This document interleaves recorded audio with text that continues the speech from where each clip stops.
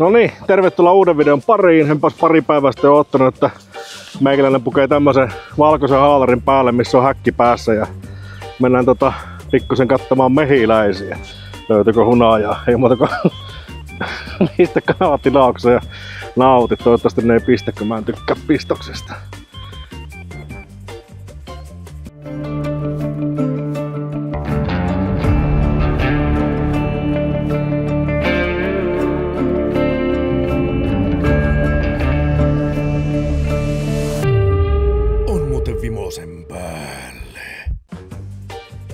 Erittäin mukavaa päivää täältä pehmustetusta VoiceOver-studiosta.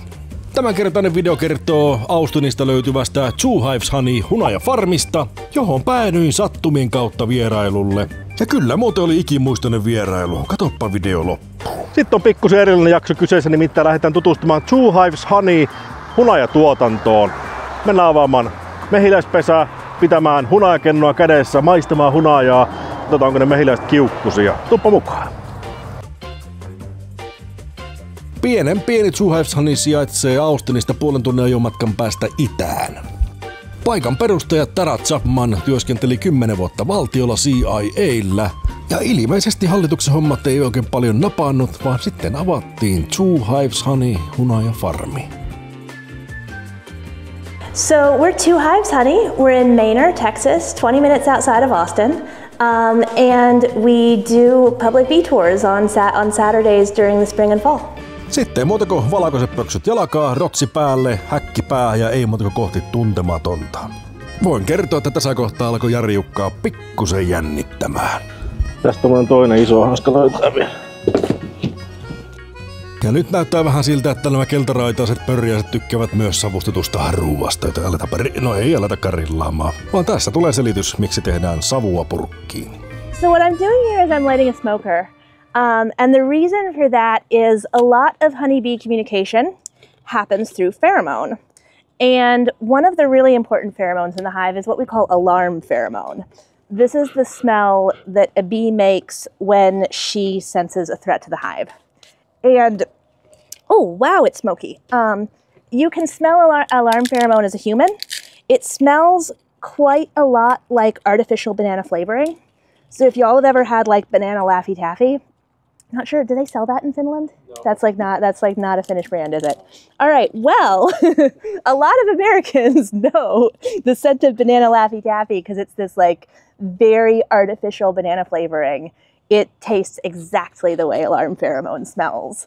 Um, but the point of the smoke is if any of the bees in the hive starts making this alarm smell, it covers it up um, so that one bee getting upset and anxious can't alert the whole hive. Um, and this is actually an ancient beekeeping technique. The first people, as far as we know, to use smoke to calm down hives were the ancient Egyptians. And we know this because they have murals of it painted of uh, Egyptian beekeepers with a little kind of like uh, smoking lamp blowing on their beehives.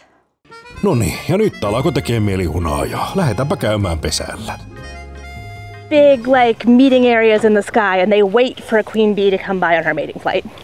We might see drones today. The hive doesn't make drones at all at all times of the year. They only make them when they feel like they have a lot of extra resources.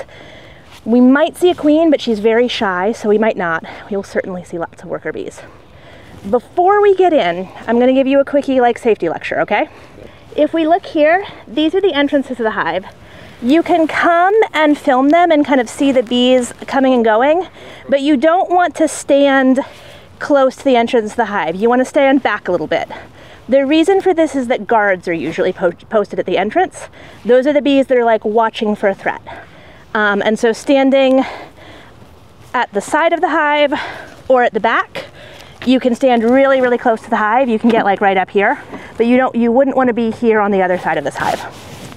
Um, the second thing is frame of bees in the hive hangs like this, um, kind of like perpendicular to the ground, like a like a picture on the wall. Beeswax is really strong when you hold it the way it hangs naturally. So if you take a frame, you can hold it like this, you can hold it like this, you can even hold it like this. But if you hold it flat like a serving platter, there's a chance that the weight of the honey or the developing bees inside that frame will pull the wax out of it and it falls to the ground and it wastes a lot of work on the part of the bees and it also kind of pisses them off. If you're holding bees and you need to step away, please don't drop them, hand them to me. Um, and also, please don't take your hood off until you're at those trees. Sound good? That sounds good. All right. So the first thing I'm doing here is I'm just puffing a little bit of smoke right into the entrance. And we talked about how the guard bees are usually stationed there. And that is just to keep them from getting annoyed. Oh, and you see this hive's feeling. Yeah. Oh, yeah. You're gonna notice that they do not like the the color of that camera. It's fine. You'll get a lot of great footage of bees dive bombing you. This hive strikes me as a bit cranky, so I think we're actually gonna get into a different hive. I think that they could be a little bit better behaved than they are.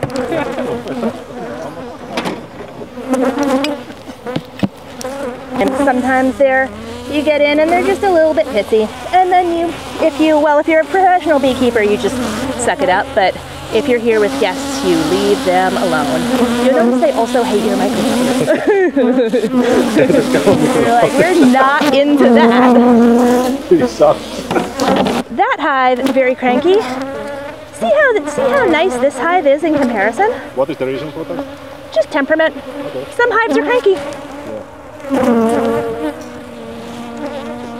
And you can see these bees aren't even flying.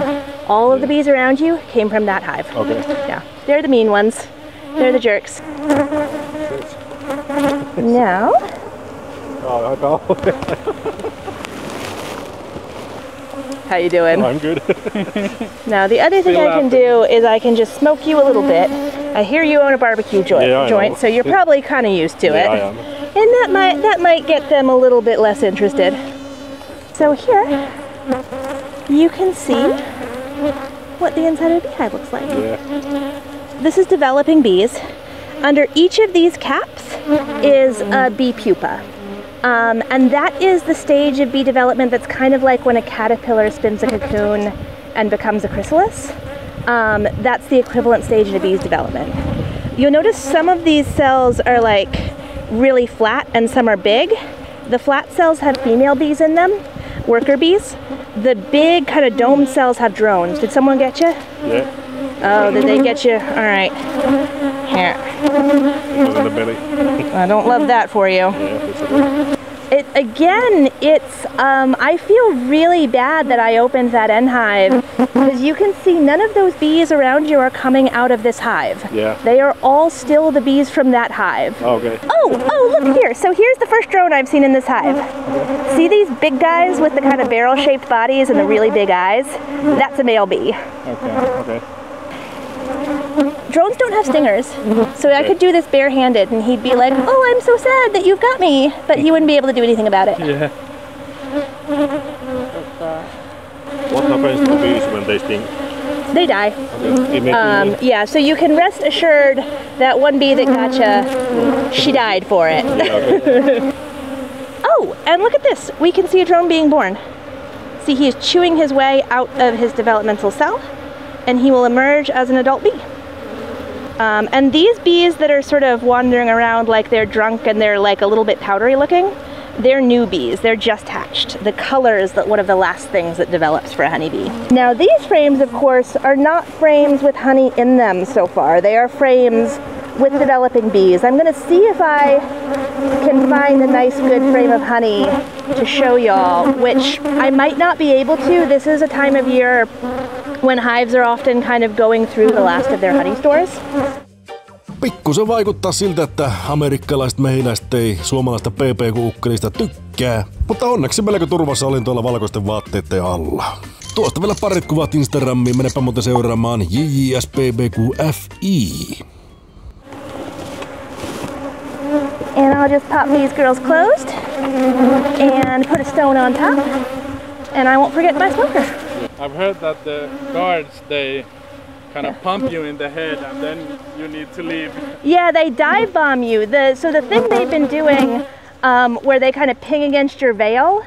Um, what they're doing is they can smell carbon dioxide, um, and this tends to, yeah, this tends to they tra- they track it and they use it. They know that you don't like to get stuck in your face, And so they just like follow the scent of carbon dioxide. You say, go away, go away, go away. and you'll notice they will follow us for a spell. and hopefully by the time we're up at that barn, they will stop being interested in us. They have stung my phone. Kun tuohon pesille alun perin mentiin, täti sanoi, että tällä kohdalla voi ottaa hupun pois, mutta voin kertoa, että ei voinut ottaa. Jari joka massukkaan pisti kolme mehiläistä, mutta ei se mitään, ne kuoli sen jälkeen. Ensimmäiseksi avatun pesän mehiläistä oli sen verran kiukkusia, että piti muuten laittaa juoksuksi. Ne ei jättänyt meitä rauhaa, että tota, ne ei vissiin tykkää suomalaista hirveän paljon. Täti sanoo, että yleensä ei, tota, ne ei seuraa näin paljon, mutta kyllä ne vaan tuli mukana perkele. All right, one, two, three, go!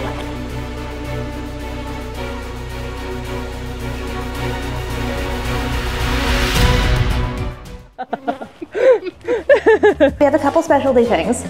Um, all of our honey is comes from our own beehives. Our beekeepers work them. Um, and one of our most popular things is comb honey. Um, this is kind of like the like the that frame of honeycomb that you saw. It's like as close to that as you can get. We just cut it out of the frame. Um, the other thing that's really delicious is creamed honey. Okay, we will take them. Yeah. So can you eat this whole thing? Yeah, whole thing is edible. Wow. Um, it'll be the wax will be a little bit chewy. Yeah. Um, if you eat it by itself, um, you'll end up with kind of like a, a little bit of wax left over in your mouth, like bubble gum. Yeah. It's really good. Uh, you can like melt it on toast, and it melts like butter. Okay, Um, I also like it. It's kind of crunchy, so I like it on like with cheese or on salad and stuff. Stuff that's a little bit crispy. That's awesome. Sitten maistetaan.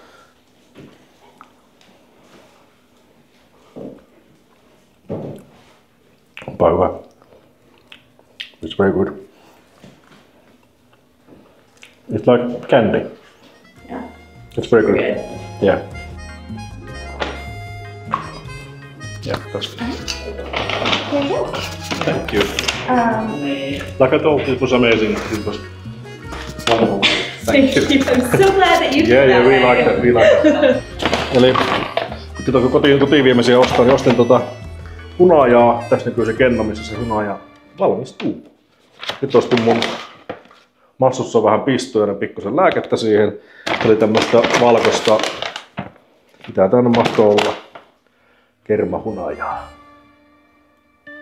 Ai että. Sitten lähdetään nautiskelemaan. Oli monta aika mahtava vierailu. Tosi niinku, jäi hyvä, tosi hyvä fiilis tuota reissusta. Pääsin pitelemään hunajakennoa, pääsin pelkäämään mehiläisiä ja perhana ne meni meitä millään, millään niinku rauhaa. Et käveltiin vähän pitemmälle ja täti sanoi, että ei yleensä käy näin, mutta nyt kävi. Ilmeisesti ne ei tykkää suomalaista verestä, mutta oli kyllä hauska, ihan mahtava. Ja kaikkein parasta, että tänne saa tulla itse vierailemaan vaikka lauantaisin, varata tuota, tuonne niinku retken tuonne mehiläispesille, maistelemaan hunajaa, pikkusen ostamaan kotiviemisiä. Ja ihan pirun mahtavia ihmisiä taas kyseessä, aivan mahtavaa. Kylmät väret tulee, kolme pistoa vaan sain. Nyt lähdetään voitelemaan hunajapalsamia massuja. Ei muuta kuin eteenpäin. Kiitos kun katsoa videon loppuun. Nähdään ensi jaksossa. Seuraavassa jaksossa.